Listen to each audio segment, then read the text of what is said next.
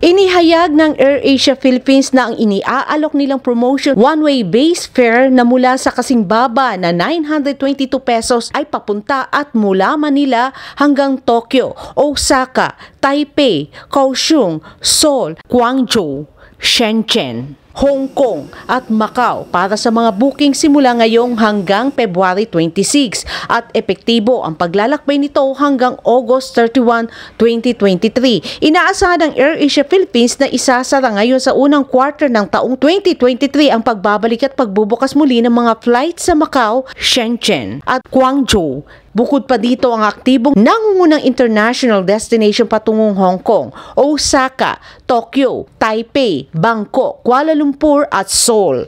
Pinagmamalaki na rin ng AirAsia Philippines ang tumataas na inbound at outbound traffic sa Cebu Mactan International Airport o MCIA kung saan nakapagparehistro na sila ng higit sa 500,000 international passenger traffic noong 2022. Ngayon, ang naturang airline ay nagsaservisyo ng mga flight papuntang Seoul, ang mga leisure traveler ay maaari ding lumipad apat na beses sa isang linggo mula MCIA papuntang Taipei, Taiwan simula March 2, 2023. Para sa Pilipinas kung mahal, Cherry Light SMNA News.